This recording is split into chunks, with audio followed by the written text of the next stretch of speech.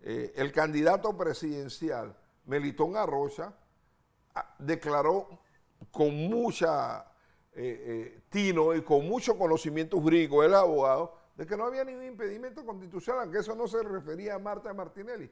El presidente del partido País también declaró en ese sentido, mi amigo José Alberto Álvarez. Bueno, tú sabes que hay un, hay un amigo nosotros, nosotros siempre vamos a comer, que siempre da opiniones eh, eh, negativas, ¿no?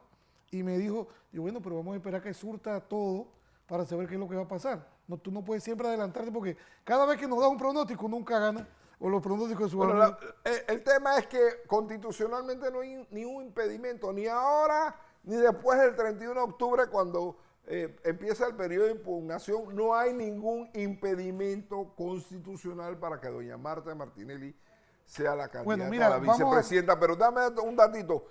Cuando ella fue candidata a vicepresidenta con Mimito Arias, ahí sí había un impedimento constitucional porque ella en ese momento era la esposa de Ricardo Martinelli, que era presidente de la ¿Y no atacaron eso porque no les interesaba? No, sí lo atacaron. Y, la Corte falló.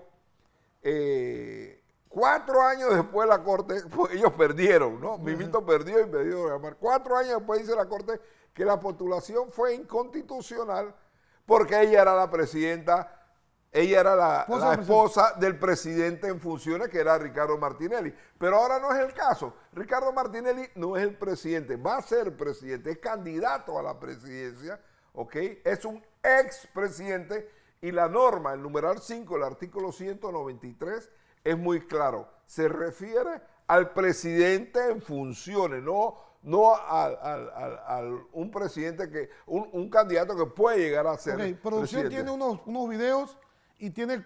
Bueno, primero vamos a la vista, aquí está. Este fue el documento que, que tiró el Tribunal Electoral. Alejandro. Dice, eh, resolución número 01080001 A mayúsculo 4 de octubre. 4 de octubre es hoy, del 2023. Eso acaba de salir. Eh, acaba de salir. lo acaba de, este, Alma lo acaba de mandar. Este, este programa tal día, la licenciada Alma Cortés nos lo mandó. La Dirección Nacional de Organización Electoral, considerando que mediante los formularios de postulación tuvieron que hacer eh, postulación física porque el sistema no dejaba entrar a la postulación. Se habían hecho trampa.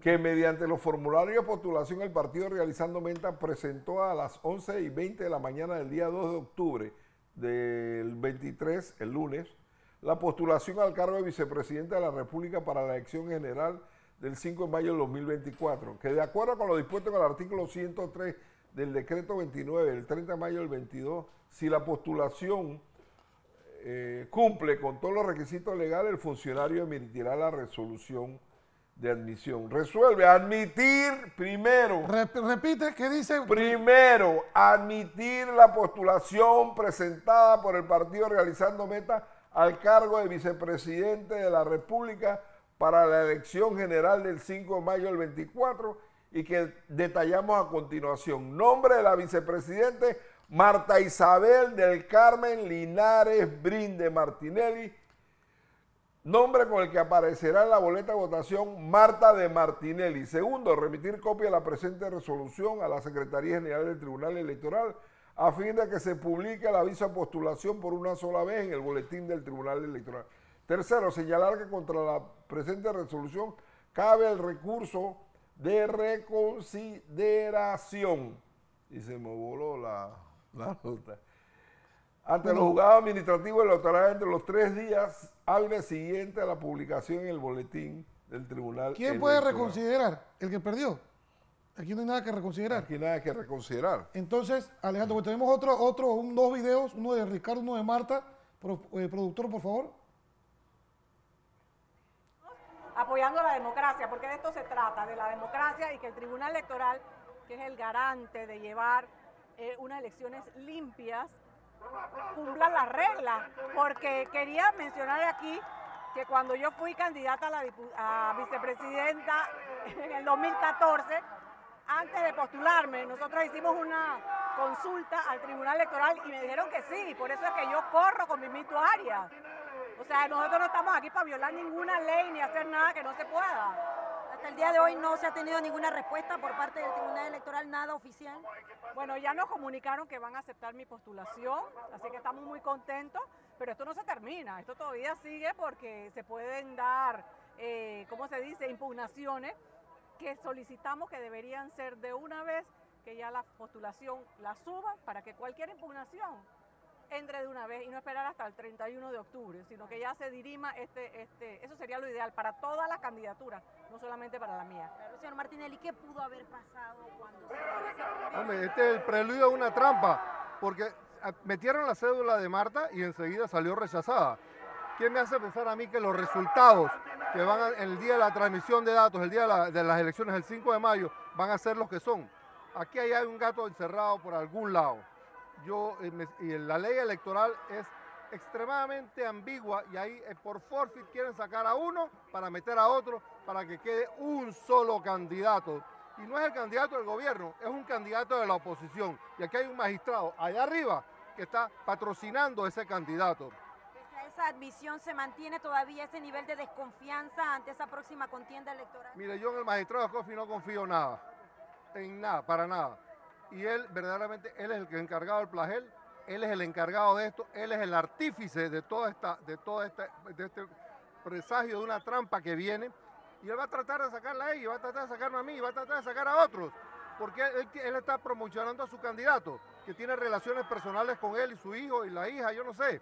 Y el magistrado eh, Valdés debe declararse impedido en todo lo que tenga que ver con Marta y, y conmigo. No puede participar, porque él está totalmente parcializado. Parece que todo este rechazo motiva aún más a que sigan simpatizantes apoyándolo, vienen de distintas provincias. Sí, vamos a seguir protestando y haciendo lo que tengamos que hacer para que se respete esta candidatura. Para que aquí, hoy escuché a, a unos candidatos y decir, ah, eso se arregla en el Tribunal Electoral o en la Corte Suprema. Porque aquí verdaderamente, si es así la cosa, aquí hay personas que ni siquiera son panameñas y están ahí corriendo para presidente de la República. ¿Qué se espera en los próximos días? Bueno, yo espero que se respete la ley, que sigamos trabajando en y el- que el pueblo panameño sea quien decida quién el 5 de mayo es el que va a ocupar el- el- la- los destinos del país y que sea lo más ordenado y lo más democrático posible. Piden, piden una campaña justa a ustedes y, y de cara a todo esto que, que ha pasado, o sea, Claro, es una campaña justa y que el pueblo panameño decida, sea, sea cual sea el resultado, independientemente de quién gane o quién pierda. la credibilidad del Tribunal Electoral ante esto que está pasando, ¿cuál es su opinión? Yo al, al Tribunal Electoral, especialmente al magistrado Valdés, nada más, no le tengo ninguna credibilidad, porque él está totalmente parcializado. Puede ser, eh, vemos situaciones como las que se están dando en Guatemala, ¿no? ¿Preocupa que esas situaciones se puedan dar acá en Panamá? Mire, Panamá es una copia de lo que va a pasar en Guatemala si el magistrado Valdés sigue influyendo, influenciando y manipulando el Tribunal Electoral. Él manipula todo aquí.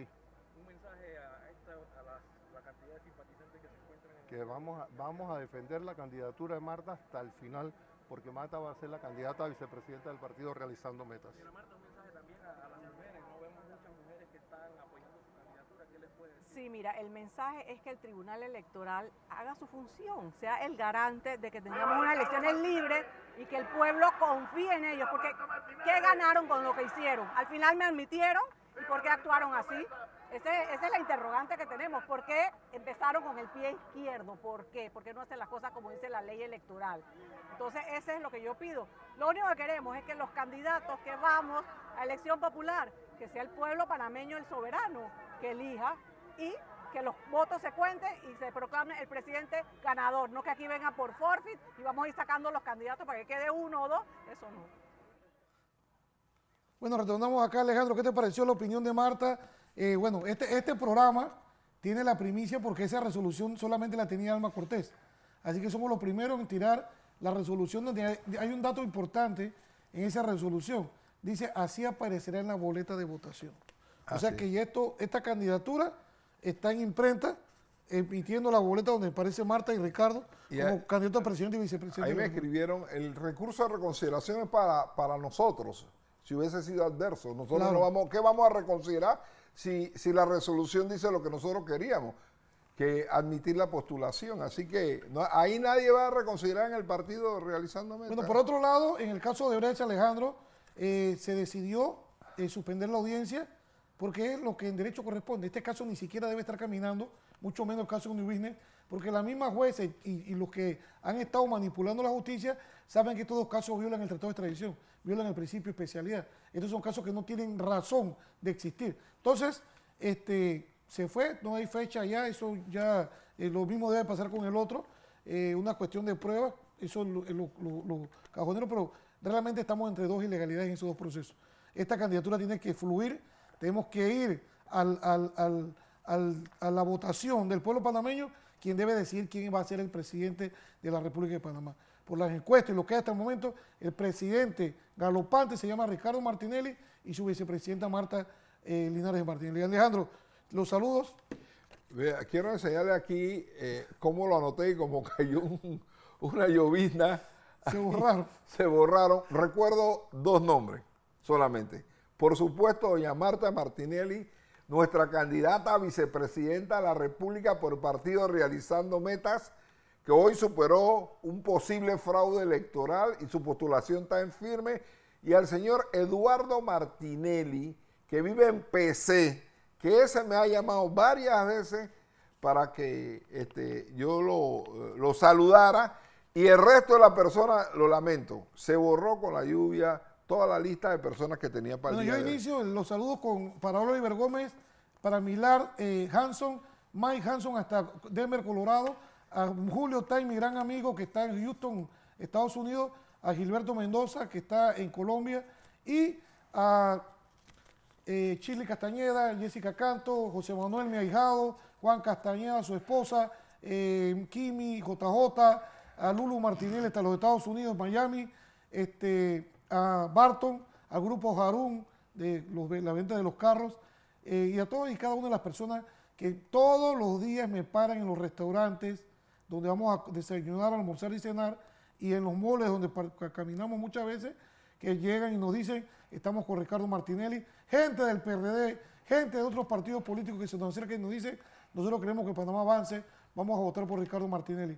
Y los esperamos el próximo miércoles este, en este su programa, donde siempre tenemos la verdad, docencia, me decía un, un fiscal que me encontré en el sistema acusatorio, un gran amigo, me dijo, Roniel, sigan dando docencia en esos programas que ustedes hacen, porque lo hacen muy bien.